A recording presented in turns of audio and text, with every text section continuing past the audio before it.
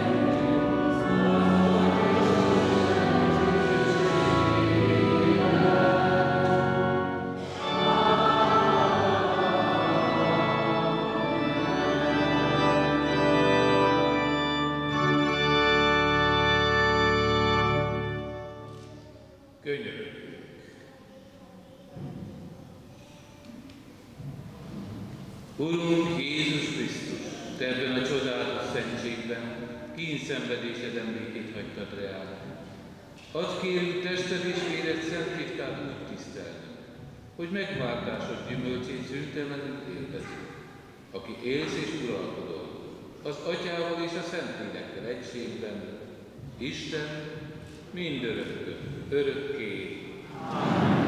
Foglaljunk egy, hallgassuk meg Isten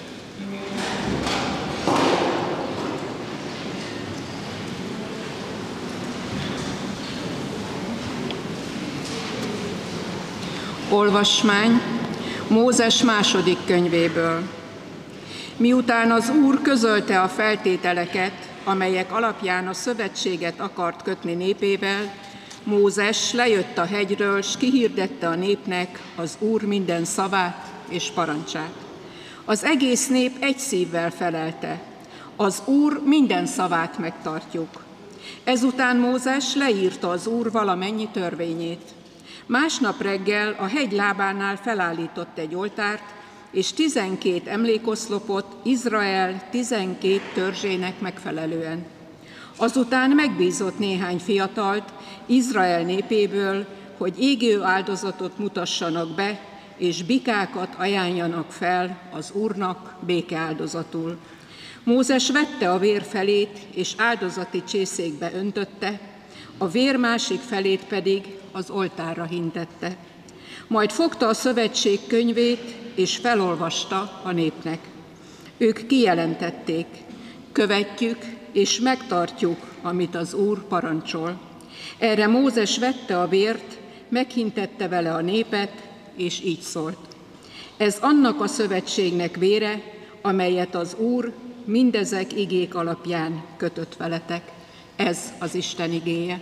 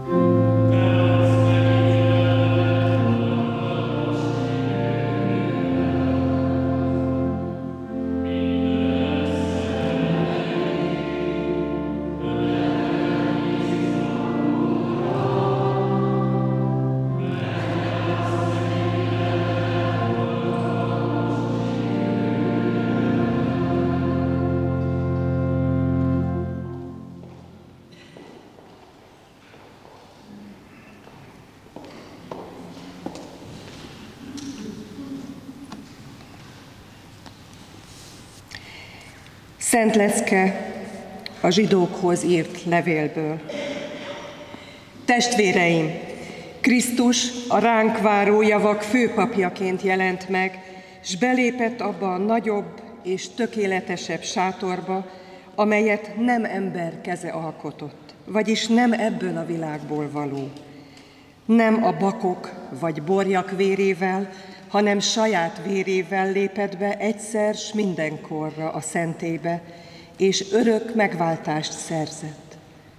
Ha ugyanis a bakok és bírá, bikák vére, meg az üszőhamva a tisztátalanokra hintve külsőleg tisztává teszi őket, mennyivel inkább megtisztítja lelkiismeretünket a holt cselekedetektől, Krisztus vére.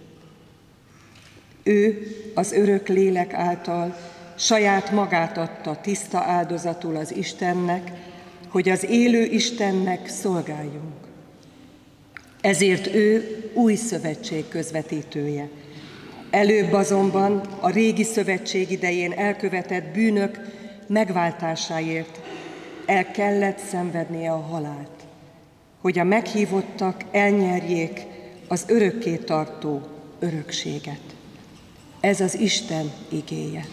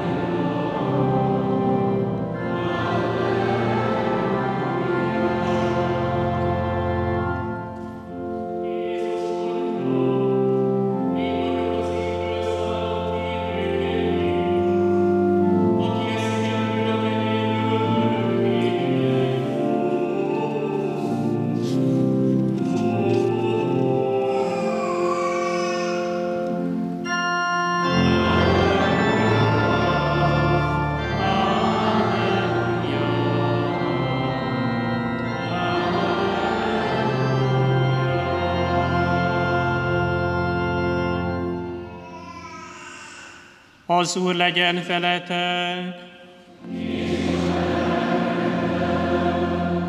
Evangélium Szent Márk könyvéből.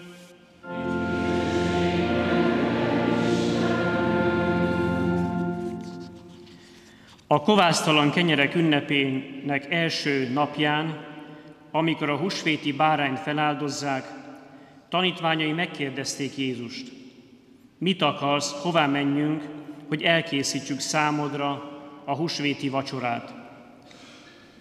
Erre elküldte két tanítványát ezekkel a szavakkal. Menjetek a városba, találkoztok ott egy emberrel, aki vizes korsót visz.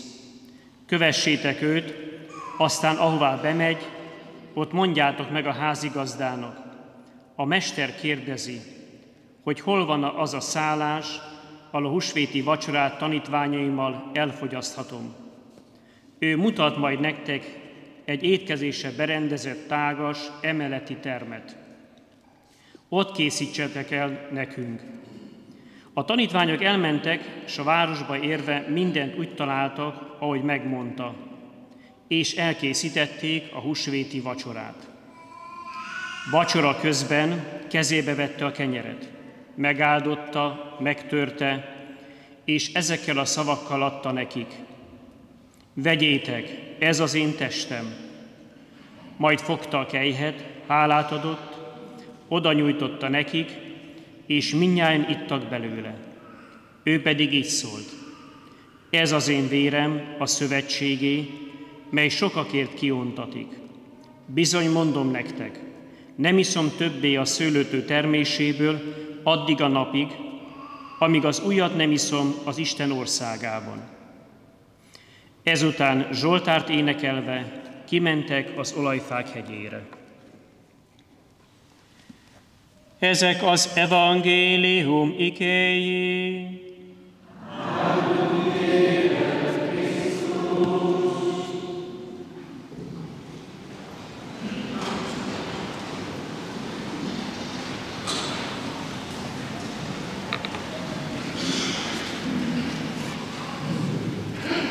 Krisztus szent teste és vére ünnepe. Mi csak úgy szoktuk hívni, hogy az Úr napja. Az Úr napja kifejezés az az Ószövetségben megtalálható, és arra utal, ami a teremtés történetében lejátszódott. Tudjuk, mindnyájan jól tudjuk, hat nap alatt teremtette az Isten az eget és a földet.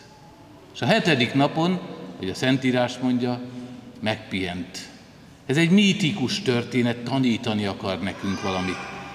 Arra tanít bennünket, hogy az egész teremtés végső célja az a hetedik nap. Az első hat napon olvassuk azt, hogy reggel lett és este, és az első nap. Aztán folytatja a második nap, ugyanígy hatodik nap, de aztán eljutunk a hetedik naphoz, és ott nincs az, hogy reggel lett és este. Mert a hetedik napban kifejeződik az örök élet. Az nem ér véget. Ott a nap felkel, Krisztus ez a nap, és örökké világít, és örökké ragyog. Tudjuk, a természet tanít bennünket, hogy az éjszakák és a nappalok váltakoznak, arról szól ez, hogy ebben a világban, a mi életünkben sajnos mindig helye lesz az árnyéknak, a sötétségnek. Szenvedünk a gonoszságtól, az erőszaktól, és végső soron a haláltól. De ezen a hetedik napon nem ér véget a nap. Krisztus ragyogja be. Azért adatott nekünk ez a nap, úgy mondja ugye az Úr törvénye, hogy az Úr napját szenteld meg.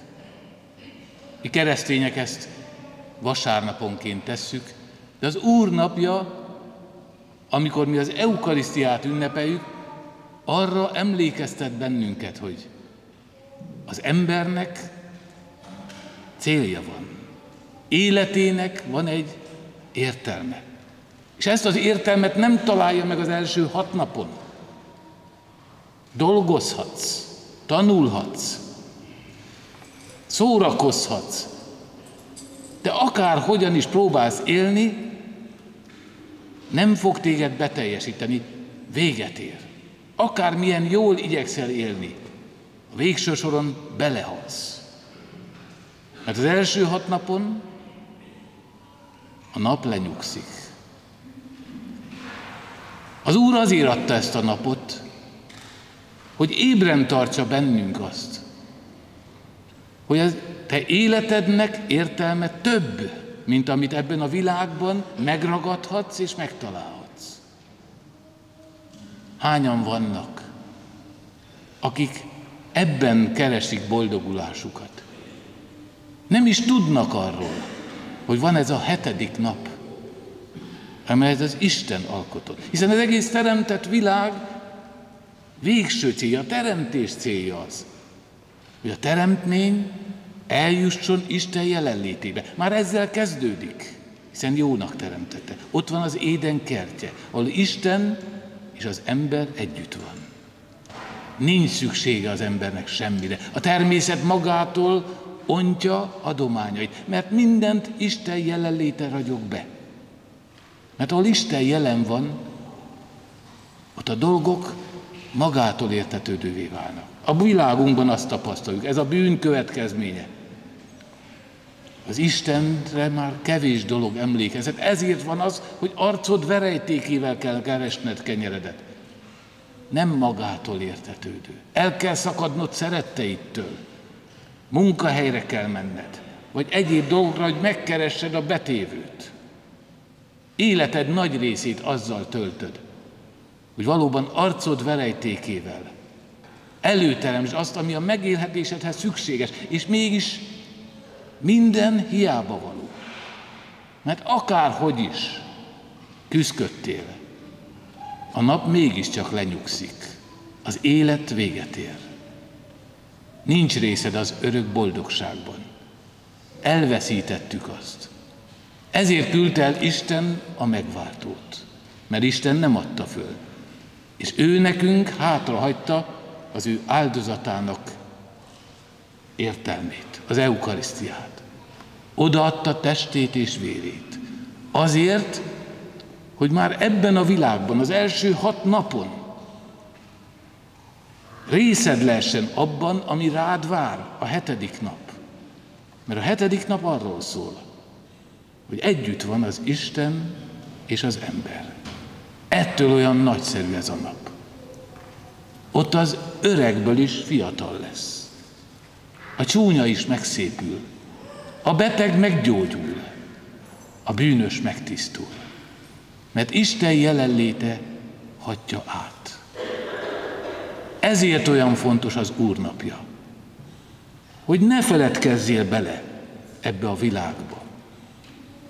Szenteld meg azt. Hagyj időt az Istennek, mert különben elvéted a célt. Mert oly ragyogó az Isten szándéka, hogy helyre állítja azt, ami elromlott. Odaadja nekünk Krisztust, ő pedig az ő testét és vérét, hogy már most részünk legyen ebben az örök boldogságban. Együtt legyen bennünk, ha még csak ideig, óráig is. Az Isten és az ember. Hogy értelme az életednek újra nyilvánvalóvá váljék.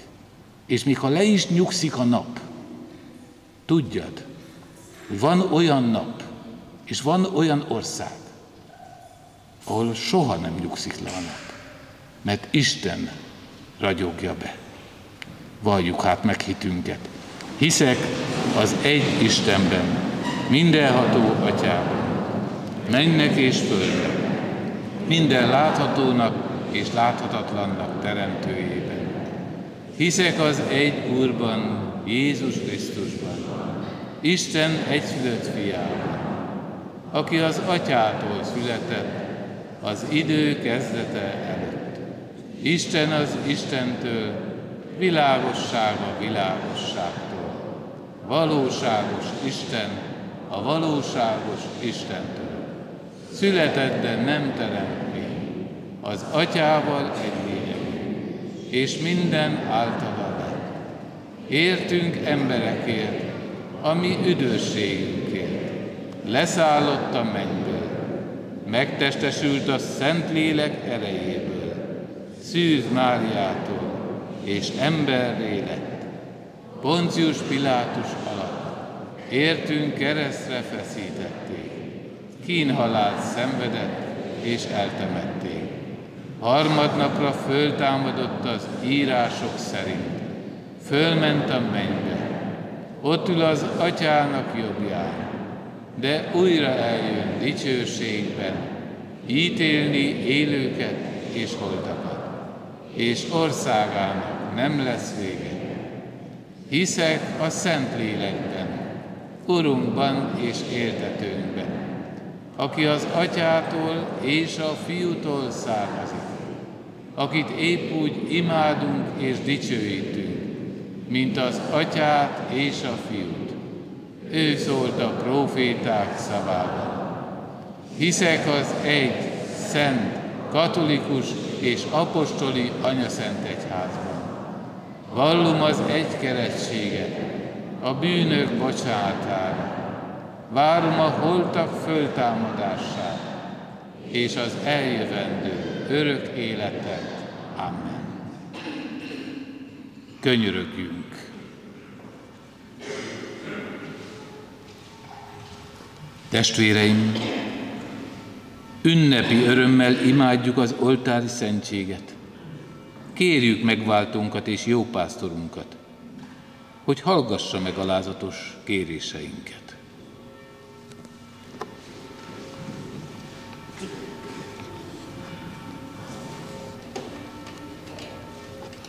Add, Urunk, hogy egyházad mindig egy legyen a kegyértörés közösségében. Hallgass meg, Urunk!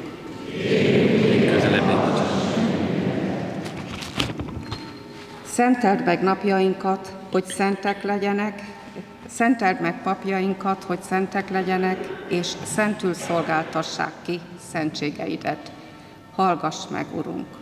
Kérünk téged, hallgass meg!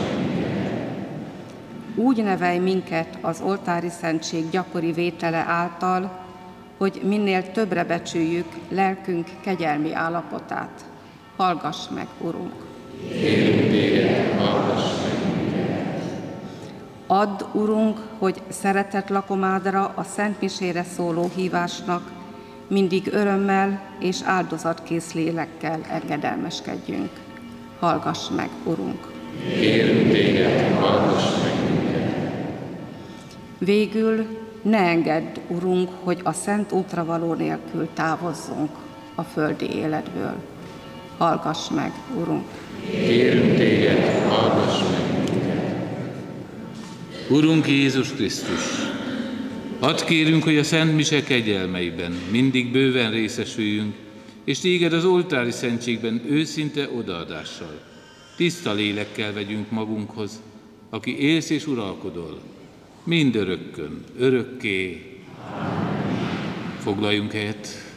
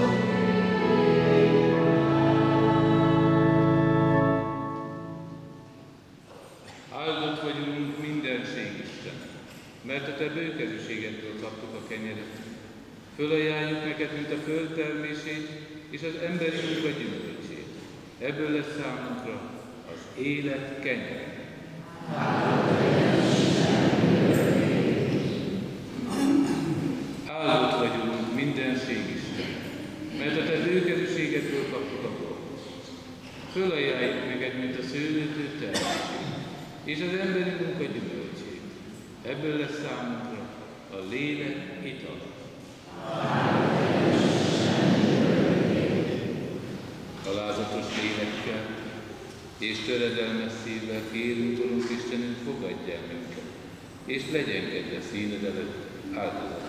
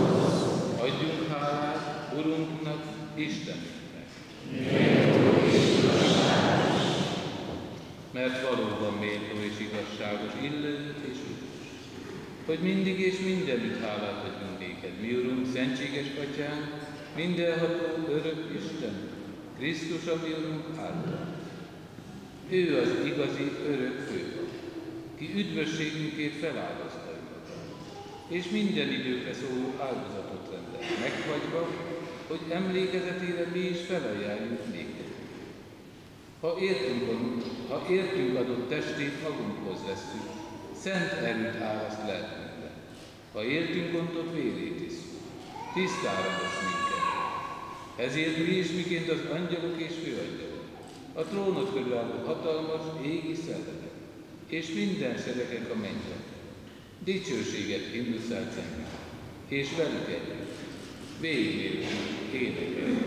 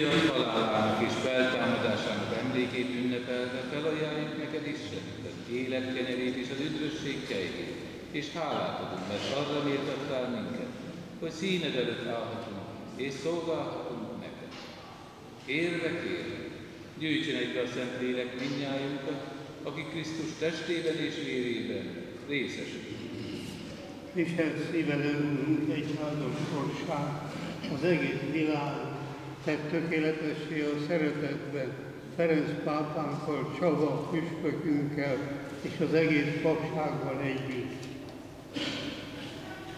Emlékezzél meg a feltámadás reményében elhunyt testvéreinkről, és mindazokról, akik irgalmadban bízva távoztak el a világból.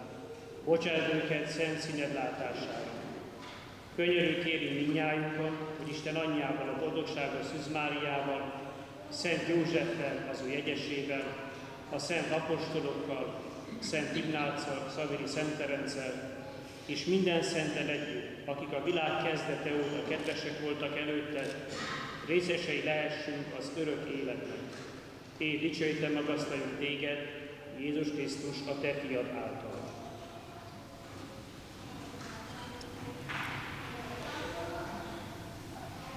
Ő által, ő vele és ő benne, a tiéd mindenható Atya Isten, a Szent Lélekkel egységben, minden tisztelet és dicsőség, mindörökkön, örökké.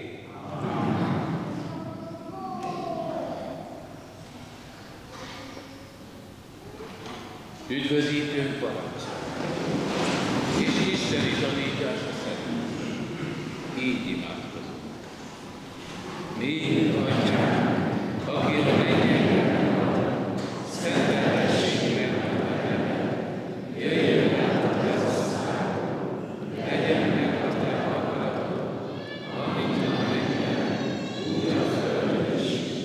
Minden napi kenyerünket add meg nekünk ma, és bocsáss meg védkeinket, miképpen mi is megbocsátunk az ellenünk védkezőknek, és ne vigy minket kísértésbe, de szabadíts meg a gonosztól.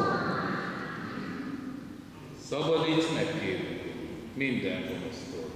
Adj kegyesen békét napjainkban, hogy irgalmadból mindenkor bűn és baj nélkül éljünk. Míg reménykedve várjuk az örök boldogságot, és üdvözítőnknek Jézus Krisztusnak dicsőséges eljöttét.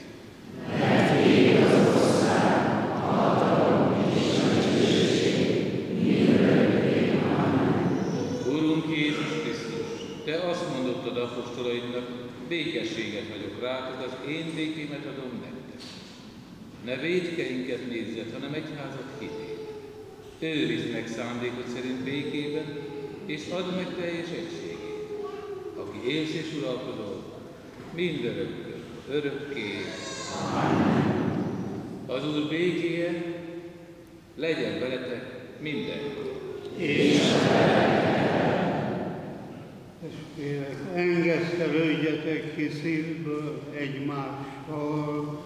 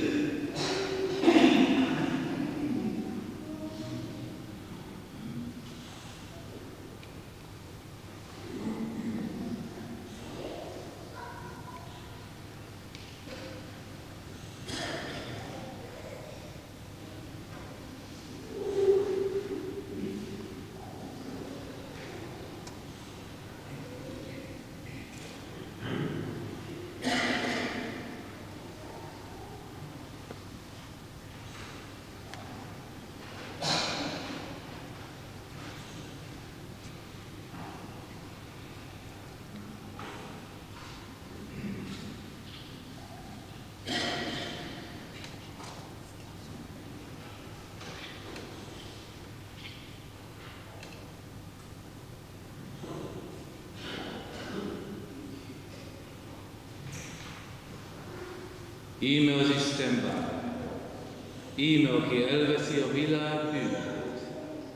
Boldogok, akiket meghív a szavához Jézus, az Isten bár.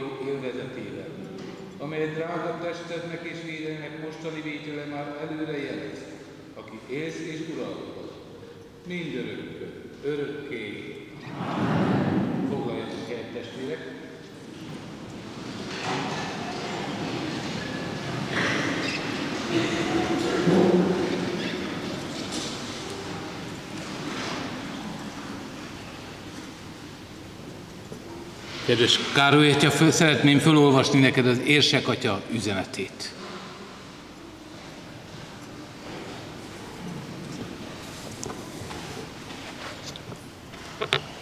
Kedves Károly atya, mindig megerősítő volt számomra a te készséged és lendületed, hogy ez még nem az érsekké, bocsánat. Másként szólítja meg. Főtisztendő lelkész úr, kedves Károly atya! Köszönetemet és hálámat szeretném kifejezni azért a lelkipásztori szolgálatért, amelyet oly nagy hűséggel és odaadással végzett az Egri főegyház megyében és a Miskolci jezsuita közösségben.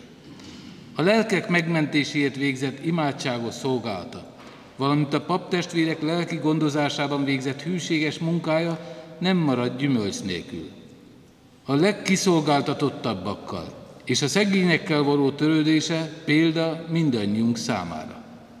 A jó pásztor mintájára mindenkinek mindene lett. Engedje meg, hogy kifejezzem köszönetemet, elismerésemet és testvéri nagyra becsülésemet. Szívből kívánom, hogy papi munkájáért, áldozataiért, jó példájáért megtapasztalhassa, a mennyei Atya nagylelkű viszonzását itt a földi életben, és majdan az örök hazában, ahová mindannyian törekszünk. Ezen ünnepi alkalommal szeretettel küldöm köszöntésemet. Eger, 2024. január 2-án az érsek atya. Most pedig hadd olvassam föl neked a provinciális atya levelét, Jezsutáknál ez szokásos, úgy nevezik, hogy diszpozíciós levél, amelyben egy küldetést ad az előjáró a rendtársnak. Kedves Károly atya! Mindig megerősítő volt számomra a te készséged és lendületed, ahogy idős korod ellenére frissen és üdén vállaltál részt a Miskolci közösség apostoli munkájában. Köszönöm, hogy betegséged ellenére is kitartottál a szolgálatban, és jó példával erősítetted a közösséget. Sajnos a legutóbbi Miskolci látogatásom óta az idő múlásával járó törékenységed még nyilvánvalóbbá vált mindannyiunk számára. A valósággal szembenézve nem tehetünk már, mint elfogadni a korral járó korlátokat. Ezért úgy látom, hogy helyes lenne, a Miskolci szolgálatodat befejezve a budapesti Árpádházi Szent Erzsébet szeretett otthonba költöznél, amely biztosítani tudja számodra a megfelelő, szakszerű gondoskodást, bármire is legyen szükséged a mindennapokban. Mi jezsuták mindig az Úr küldetésében akarunk járni, ahogy az a társaságban szokás, ezt a küldetést egy diszpozícióval foglalva kapjuk meg a társaságtól. Kedves Károly atya, a te új diszpozíciód ezennel az, hogy imádkozz a társaságért és az egyházért. Különösen értem, hogy a rendtartomány Isten szíve szerint vezethessem. A hosszú évtizedek szolgálata után kérem Isten áldását, hogy továbbra is kísérjen téged az ő útján. Barátsággal és imával. András Attila, jezsuita tartományfőnök. Most pedig az egyházközség nevében a világi elnökünk Alakszai László köszön el tőled.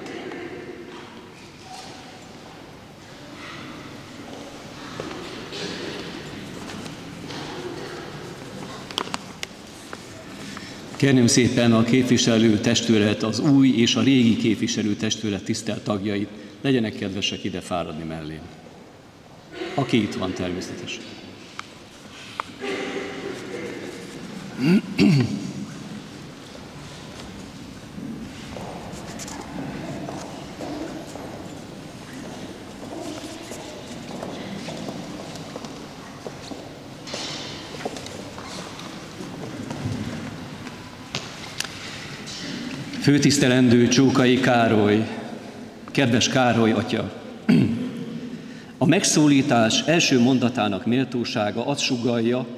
itt egy hivatalos személy köszöntése következik, mégsem tudunk teljesen hivatalosak lenni, ha Károly atyáról van szó. Ráadásul egy olyan személyesnek is mondható ünnepen, mint a mai elköszönés. A szeretet és bizalom, amely ismerettségünk első pillanatától árad Károly atyából felénk, azt sugalja legalább száz esztendeje ismerjük egymást. Ezért is tegeződünk nem tiszteletlenségből. Én nem is érzem úgy, hogy Károly atya 97 éves. Előttem mindig az a fiatal, mozgékony emberképe van, aki az autóversenyzőket is megszégyenítő gyorsasággal mozog, tesz, gondolkodik és cselekszik. Láthatatlanul vigyáztál és örködtél, hogy tiszták és Isten szerető emberek maradjunk. Hála ünnep a mai. Hálát adunk Istennek szerzetesi hivatásodért, életedért, és azért a kereken 30 évért, amit közöttünk szolgáltál. Köszöntünket lélekben mindazon közösségekkel együtt fogalmaztuk meg, akikért ezt a páratlanul gazdag életutat végigjártad, és amely Magyarország történelmének kivételesen nehéz évtizedeit jelenti. Hivatásod rendkívüli nehézségek közepette indult. Küldetésed üzenete az volt, szembe kellett menned korodnak minden meghatározó társadalmi tendenciájával. Akkor léptél be 1950-ben a jezsuita rendbe, amikor azt Magyarországon állami erőszakkal feloszlatták, és amikor hazánkban, Javánban folyt az Isten nélküli világkép elterjesztése. Akkor szenteltek csendben, hazától távoli földön Spanyolországban pappá, amikor a magyar nép szabadságvágyát 57-ben vérbe folytották. 16 évig szolgáltál Csillében, részbányászok között, Csikikamatában, majd a szegények lakta kis településen, egy bádogvárosban, Población Nogalesben. Építettél a szegény sorsú híveknek a magyarok királyáról, Szent István királyról elnevezett templomot, amely ma is szolgálja a hívő közösség életét. Itt sem feledkeztél meg hazádról, bár a hazatérés reménye nélkül szolgáltál, a csílei hívek nagy tisztelettel emlékeznek rád. 1975-ben az amerikai földrész másik végében folytattad munkádat. Miután előjáród a Montreali magyar plébániára küldött, és 18 éven keresztül plébánosként szolgáltad a közösséget. Itt is sok barátot szereztél, elsősorban Istennek. Valóban reménytelen volt a száműzetésben az élet. Erre a te életpéldád adta meg nekünk a hiteles cáfolatot. A rendszerváltás után hazatérhettél végre. 94-ben, éppen 30 éve, májusban helyezett a Magyarországon újra működő Magyar Jezsuita rendtartomány provinciálisa Miskolcra. Megadatott a hazatérés, megadatott a megújulás, megadatott még egy hosszú szolgáló élet, a szentségek bőséges átadása által. Gyontattál, eskedtél, temettél, kereszteltél, betegeket látogattál, szegényeket segítettél rendületlenül. Hálaadás ez a nap azért a kegyelmi ajándékért, amely nekünk, híveknek jutott példamutató szerzetesi hivatásod által. Személyes beszélgetéseinkből tudom, ennek a megújulásnak a hitével a szívedben léptél 31 évvel ezelőtt újra magyar földre. Azt is tudom, hogy sok keserű pillanatot is okozott neked az itt talált új világ. A lakótelep sivár közösségi élete, a szétzilált családok helyzete, a vallás iránti közömbösség. Ma itt az ideje, hogy köszönetet mondjunk azért, hogy nem adtad fel, Megköszönjük a missziós lelkületű papi szolgálatot itt, az Avas délen. Adjunk hálát az Istennek azért, hogy megismerhettünk, megszerethettünk, tisztelhetünk. Szerényen élni, ebben van a titok.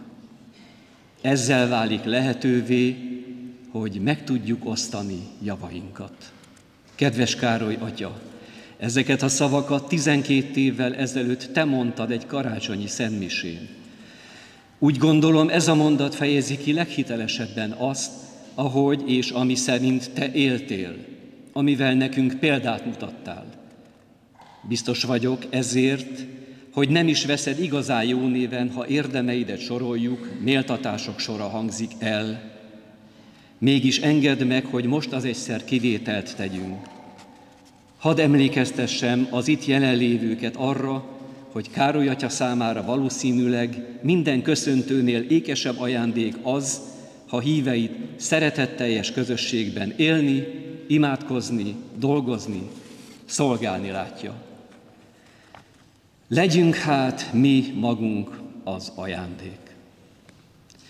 Isten adjon sok erőt, jó egészséget új szolgálatodban. Ad majorem Dei gloriam. Mindent Isten nagyobb dicsőségére. Szerintem.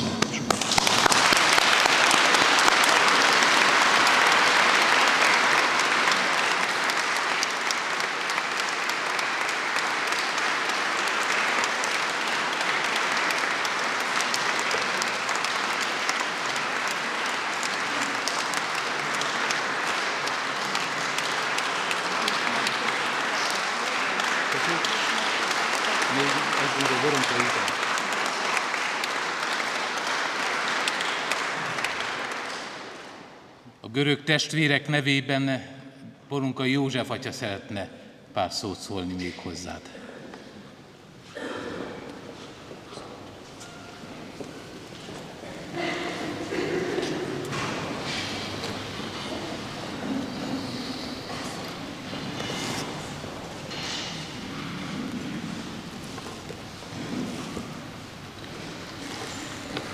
Kedves Károly atya, Azt gondolom, hogy nem csak én érzékenyülök el, és ha tudom meg ebben a csodálatos alkalommal, amikor ismét láthatunk, hanem mindannyiunk szíve és szeme talán tele van könnyekkel, tele van a hála könnyeivel, és tele van a fájdalomnak a könnyeivel. Hála azért, hogy ember tudtál maradni a papi hivatásodban, és emberként tudtál szolgálni.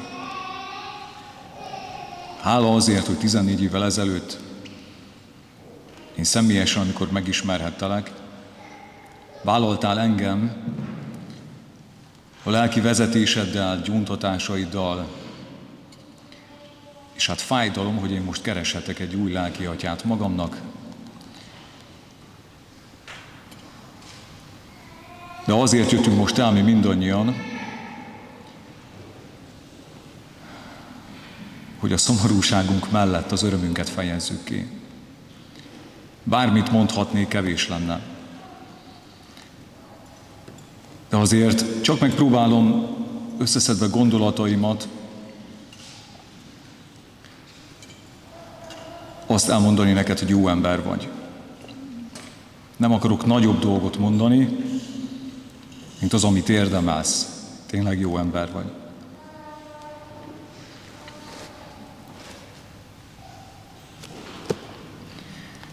Görög katolikus hívek nevében engedd meg, hogy átnyújtsunk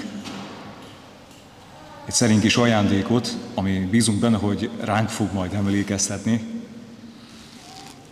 Kislányom Eszter majd átadja is. Ha megengeded, akkor meg is mutatnánk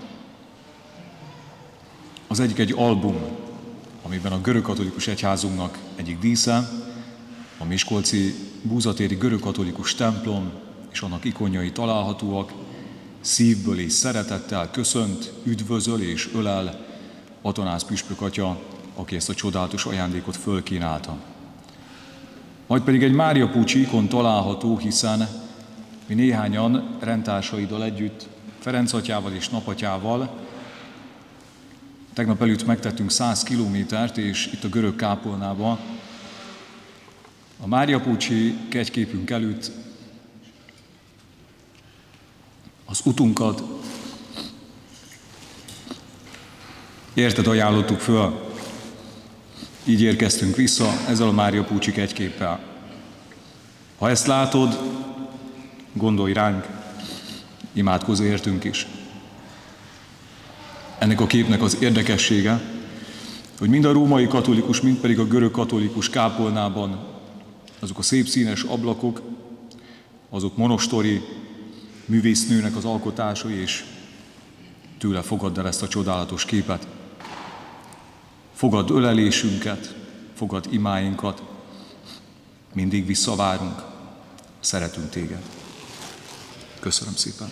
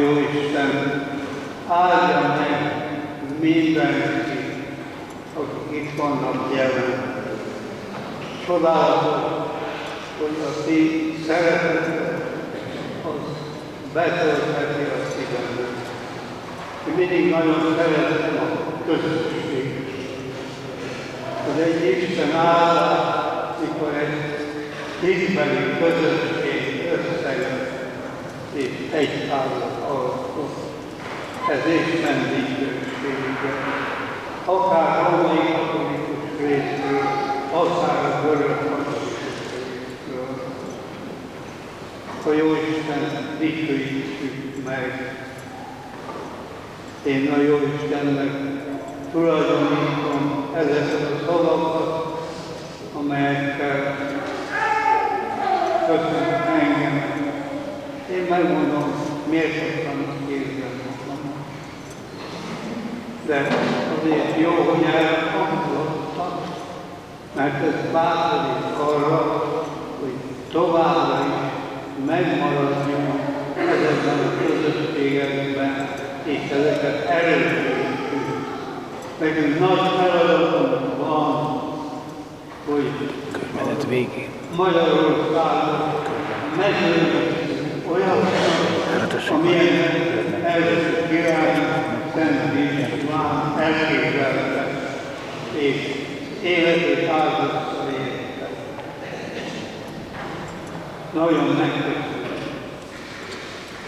Maradjunk meg együtt, ugye ez az én első kívánságom, az Úr Jézus is ezt akarja. Ő akarja a közösséget, hogy egymást segítjük, tiszteljük és szeretjük. A megadottság ellenére küzdök, hogy el tudom ezeket mondani. Valóban ez csodálatos ez a szeretet, ami a ti életekből áll. Nagyon hálás és a jó Jézus, hogy eltartson meg minnyájunkat sokáig.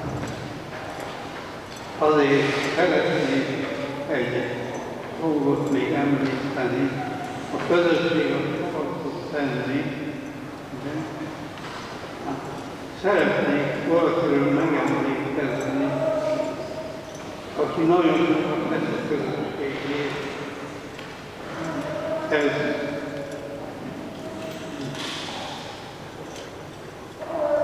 Egy leány, akit a Jóisten nagyon megpróbál. Mindig időványol, mindig segítette embertársait, és nagy példát tudott mutatni. Ja, ez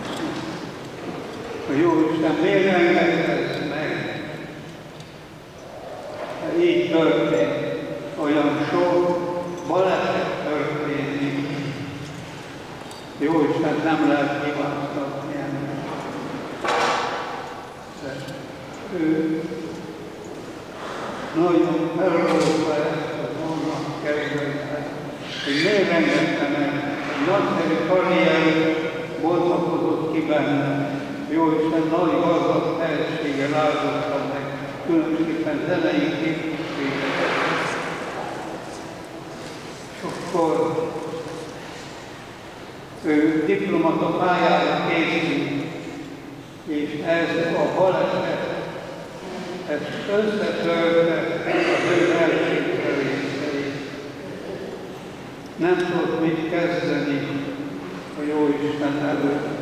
Elsötétült előtte a világ. Mit vegyünk vele? Ugye a kórházban a legjobb próbálták meggyógyítani nem ment. Utána ott volt unokősém Csókai András, ismert Fidesz, ide kevés. Őt kérte, hogy próbálj meggyógyítani. Azonnal ott volt Mississippi-re parton, és rohant ki a kórházba, hogy megvizsgálják. És azt kellett mondani, sajnos ez nem tudunk segíteni. A bénusságot nem tudjuk belőle kivenni. A első év a forgalom. Összes álmai, akármi énekes, akármi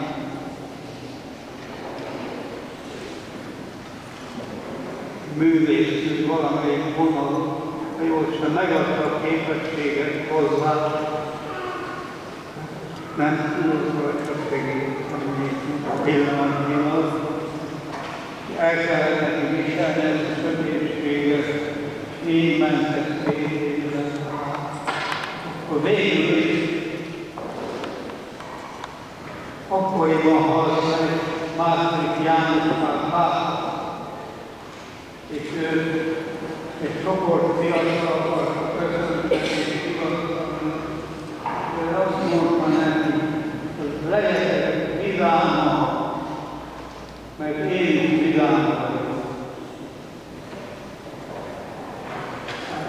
Ezek a kihozták belőle Istennek a segítségét. És a régi gyermekkori hitet, az valahogyan megerősített benne, és az ötletségi világosság lett, és elkezdtek kérdezni Istennek a jóságát, ő nagy No,